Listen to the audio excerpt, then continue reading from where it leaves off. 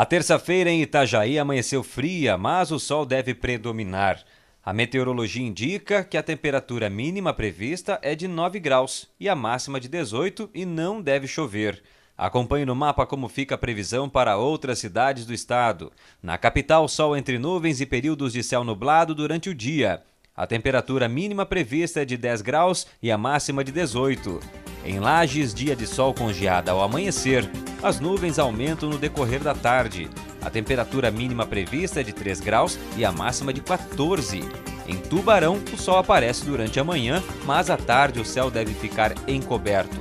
A temperatura mínima deve ficar em 9 graus e a máxima nos 18.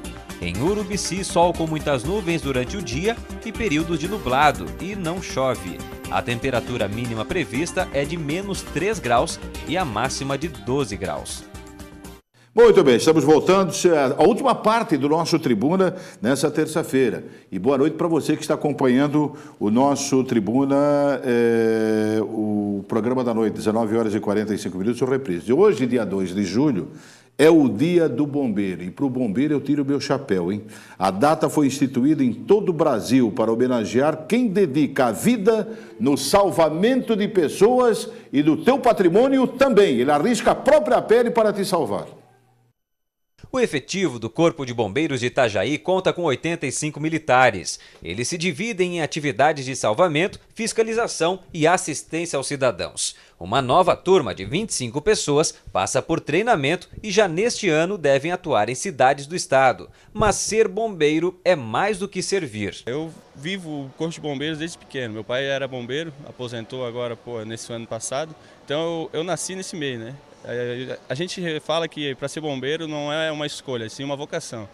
É, tem que estar no sangue mesmo, porque senão a pessoa não, não, não consegue prestar o devido serviço à comunidade, com qualidade. Né? Tem que é, gostar então. Tem que gostar até para a gente poder a, atender com a devida qualidade à comunidade, porque é uma questão de, de vida, né?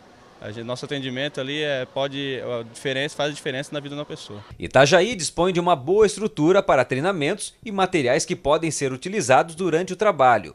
Quem há 25 anos se dedica ao serviço militar tem muita história que já marcou a vida profissional e pessoal. Mais marcou foi as enchentes que assolaram a nossa região aqui, onde foi o trabalho foi muito árduo, né, é, todos os dias e diversos tipos de ocorrências tanto na, na parte de salvamento, né, que foi, foi bastante requisitado, e também na, na parte de ajuda humanitária às pessoas que ficaram assoladas na região do Morro Baú, Ilhota e aqui na região de Itajaí. A eficiência do trabalho busca atender uma demanda de 25 a 30 incêndios por mês em Itajaí, número elevado, mas que requer atenção do Corpo de Bombeiros. Um parabéns é pouco para tanta dedicação e esforço destes homens e mulheres.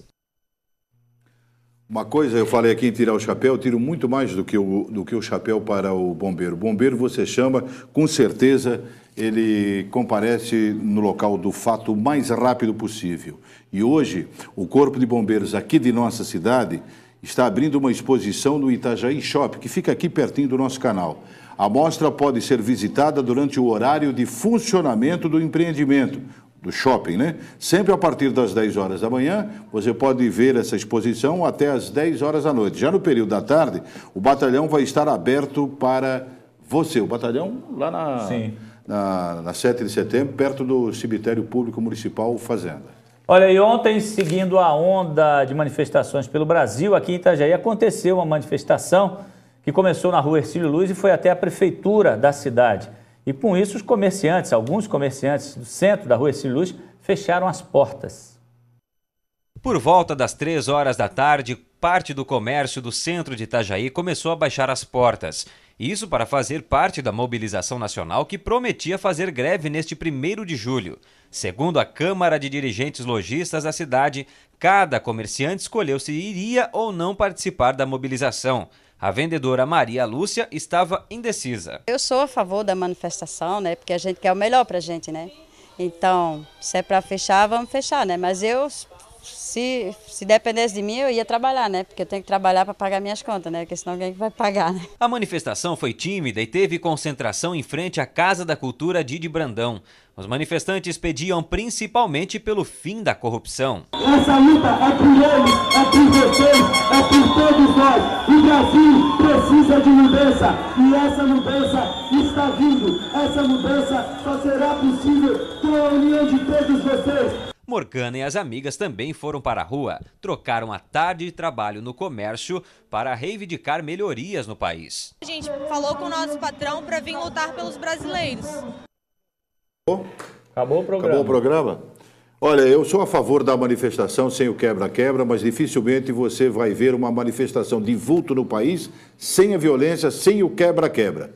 Isso acontece. Você pode voltar do tempo, pesquisar, que você vai encontrar, não somente no Brasil, mas em qualquer lugar do mundo. Agora, o povo brasileiro, Lacerda, ele tem todo o direito de reivindicar Verdade. aquilo que nós já falamos aqui no programa em várias oportunidades. Está no seu direito.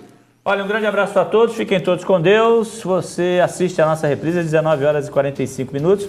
Na sequência tem o Viva Bem. Nós voltamos amanhã ao vivo uma e meia da tarde. Um abraço, até amanhã. Tchau, compadre. Obrigado, obrigado. Um grande abraço a você que acompanha o programa online e também para você que acompanha a reprise. Amanhã a gente volta. É, onde falta educação, sobra violência. E você sim, você sempre vai poder fazer a diferença. Até amanhã. Tribuna na TV. Oferecimento Senac. Cursos técnicos do Senac. Inscreva-se e seja puxado para o lado bom do mercado.